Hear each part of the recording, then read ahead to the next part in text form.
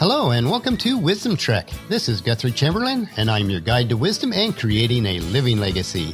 Thank you for joining us for our seven day a week, seven minutes of wisdom podcast. This is day 109 of our trek, and yesterday we came to understand that life is like flying in a jet. If the plane loses cabin pressure, then you must put on your mask first so that you can assist others.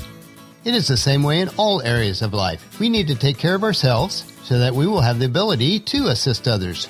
Today we want to learn how to prevent our lives from becoming like a garbage truck.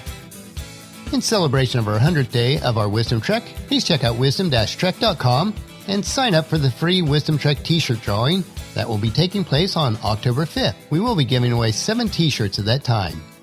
We are recording our podcast from our studios at Home 2 in Charlotte, North Carolina. It's amazing how quickly the hours rush by each day. I realize that we are making progress on the various projects that we are working on, but there never seems to be enough hours in each day.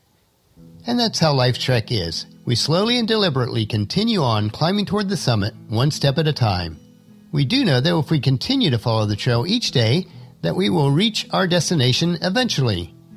So what is slowing you down today?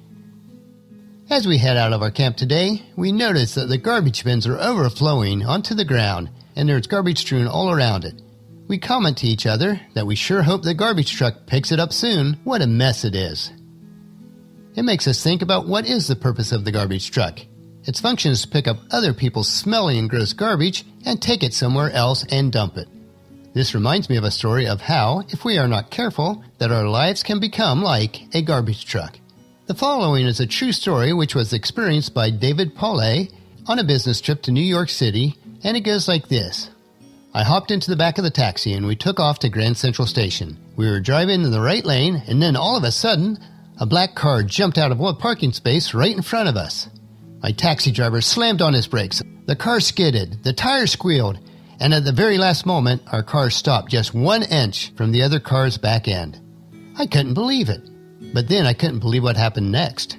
The driver of the other car, the guy who almost caused a big accident, whipped his head around and started yelling bad words at us. How do I know? Ask any New Yorker. Some words in New York come from a special face. And he even threw in a one finger salute. I just couldn't believe it.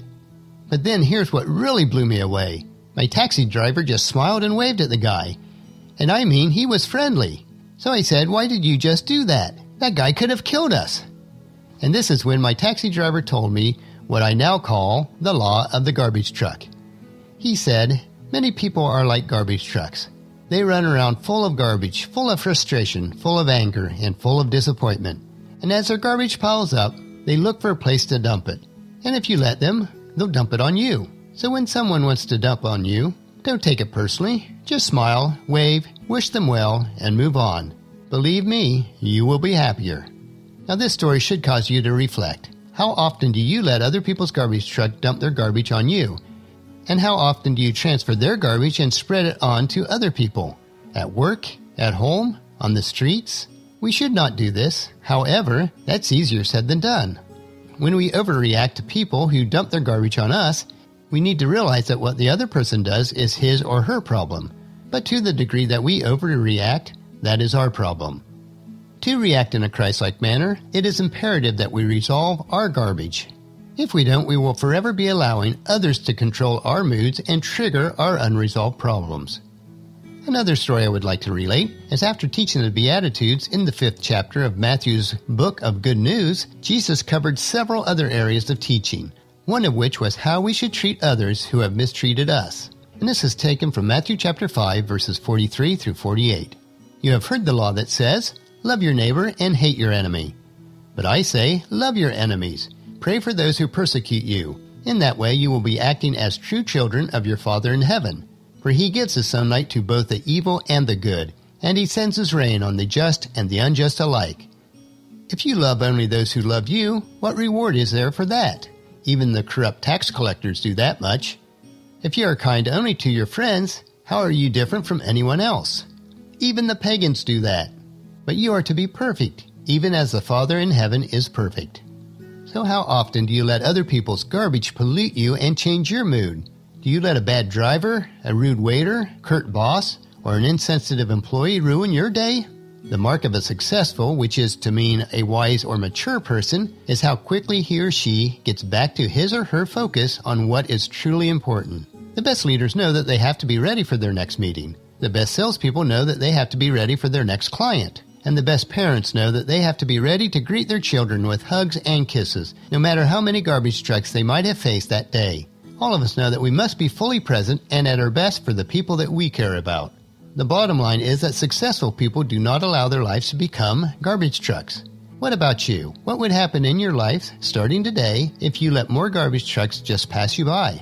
The author of the story above, David Pollay, came up with the No Garbage Truck Pledge, and it goes like this I do not accept garbage in my life. When I see garbage trucks, I do not take them personally. I just smile, I wave, I wish them well, and I move on. I do not spread garbage to others. I am not a garbage truck, and I do not accept garbage in my life. So it is important that our lives are not like a garbage truck, but instead we free our minds, control our anger, and move on. And as we move on, please join us tomorrow for another day of Wisdom Trek creating a legacy. And tomorrow we will learn how to tame your anger. Well, that'll finish our podcast for today. If you've missed any of the previous podcasts, please check out Wisdom Trek on iTunes, Stitcher, SoundCloud, Spreaker, YouTube, or at wisdom-trek.com. If you enjoy our daily doses of wisdom, these little nuggets we consume each day, I encourage you to take the time to invest in yourself in these three ways.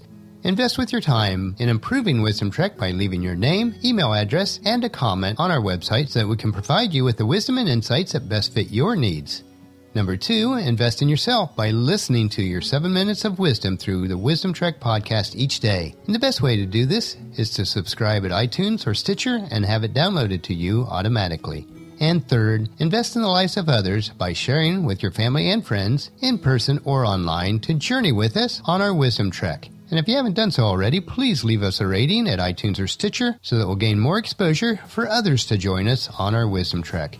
The journal for this podcast can be found at wisdom-trek.com, where we also have pictures, tweetable quotes, wisdom nuggets, and free resources. Thank you for allowing me to be your guide, mentor, but most importantly, your friend, as I serve you through the Wisdom Trek podcast and journal each day. As we take this trek together, let us always live abundantly or fully, love unconditionally, listen intentionally, learn continuously, lend to others generously, lead with integrity, and leave a living legacy each day. This is Guthrie Chamberlain reminding you to keep moving forward, enjoy your journey, and create a great day every day. See you tomorrow.